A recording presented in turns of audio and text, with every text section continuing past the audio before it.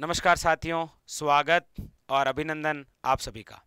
साथियों, आज जिस बिंदु के बारे में हम चर्चा करने वाले हैं, वो है आपके राजस्थान में सहकारिता या फिर राजस्थान में सहकारी आंदोलन। बहुत टफ टॉपिक माना गया है, लेकिन इनकी जो पृष्ठभूमि है, वहाँ से अक्सर क्वेश्चन आ जाते हैं। तो आइए इसी टॉपिक को करंट से रिलेटेड करते हुए हम इसकी पृष्ठभूमि को समझते हैं। ठीक है? आइए।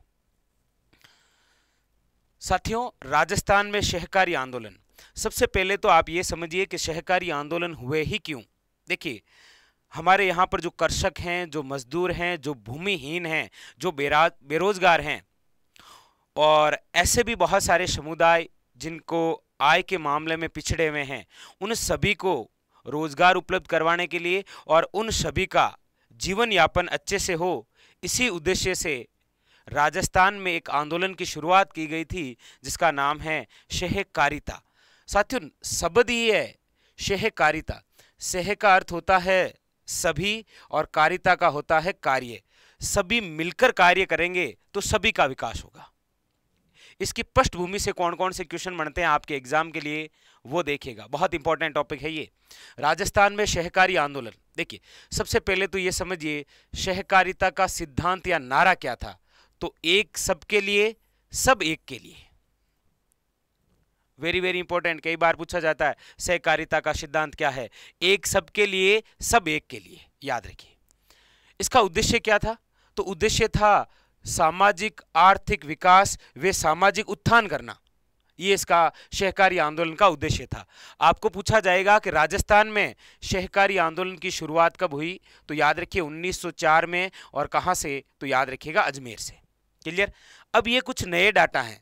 आपको पूछा जाए कि राजस्थान के अंदर केंद्रीय सहकारी बैंक कितने हैं तो याद रखिएगा उनतीस ट्वेंटी नाइन आपको पूछा जाए, राजस्थान में जिला दुग्ध संघ कितने हैं तो याद रखिएगा तेईस। और आपको पूछा जाए, राजस्थान में सहकारिता दिवस कब मनाया जाता है तो याद रखिएगा सात जुलाई। साथियों, ये राजस्थान में सहकारिता दिवस है। कब मनाया जाता है? सात जुलाई। ये है इसकी छोटी सी पृष्ठभूमि। लेकिन सहकारी के इतिहास से कौन कौन से क्वेश्चन बनते हैं, वो भी समझिए। ये तो क्लियर है ना? डायरेक्ट वन लाइनर क्वेश्चन है। सहकारिता का सिद्धांत, इसका उद्देश्य, राजस्थान में कब शुरुआत हुई? राजस्थान में केंद्रीय सहकारी बैंक कितने हैं? जिला दुग्ध संघ कितने हैं? और राजस्थान में सहकारिता दिवस कब मनाया जाता? है नेक्स्ट देखिए अगले क्वेश्चन राजस्थान में सर्वप्रथम सहकारी समिति का गठन कहाँ किया गया और कब? वन लाइनर क्वेश्चन राजस्थान में सर्वप्रथम सहकारी समिति तो याद रखिएगा 1905 में और कहाँ पर? तो भिनाय अजमेर में। आपको पूछा जाए, राजस्थान में सर्वप्रथम केंद्रीय सहकारी बैंक की स्थापना कहाँ पर की गई? अजमेर के अंदर और कब? तो याद रखिए 1910 में। आपको पूछा जाए, राजस्थान में सर्वप्रथम सहकारिता अधिनियम कौन सी रियासत में लागू हुआ था? तो भरतपुर रियासत के अंदर और याद रखिएगा कब? तो 1915 में। मतलब भरतपुर ने स्वयं ही सहकारिता अधिनियम बनाया था कब? 1915 में। आपको पूछा जाए कि राजस्थान में सर्वप्रथम सहकारी कृषि बैंक की स्थापना कहाँ पर हुई? तो याद रखिएगा, डींग, भरतपुर और कब? 1904 में। ये सहकारिता से संबंधित, इतिहास से संबंधित क्वेश्चन है कि राजस्थान में सर्वप्रथम सहकारी समिति का गठन कब और कहाँ किया गया? राजस्थान में सर्वप्रथम केंद्रीय सहकारी बैंक की स्थापना कहाँ और कब हुई? राजस्थान में सर्वप्रथम ऐसी कौन सी रियासत थी जिसने स्वयं का सहकारिता अधिनियम बनाया और कब? और एक क्वेश्चन ये कि राजस्थान में सर्वप्रथम सहकारी कृषि बैंक का गठन कब और कहाँ हुआ? एक क्वेश्चन ये भी है साथियों वेरी वेरी इंपॉर्टेंट कि आज़ादी के बाद राजस्थान में पहली बार सहकारी समिति विधेयक कब पारित किया गया? तो याद रखिएगा उन्नीस में, और यह राजस्थान का पहला विधायक था, जो किससे संबंधित? सहकारी से।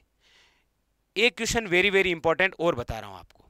राजस्थान की प्रथम महिला नागरिक सहकारी बैंक कहाँ पर है, कब स्थापित है, और इस बैंक का नाम क्या है? आपको पूछा जाए, राजस्थान की प्रथम महिला नागरिक सहकारी बैंक तो इसका पूरा नाम है आपके राजपुताना महिला नागरिक बैंक। ये कहाँ पर स्थापित है? जयपुर में। और कब स्थापित हुई थी? तो याद रखिएगा 1995 में। साथियों, ये जो बातें थी आपके, ये सहकारी की पृष्ठभूमि से थी। एक एक क्वेश्चन कि सहकारिता का सिद्धांत नारा क्या?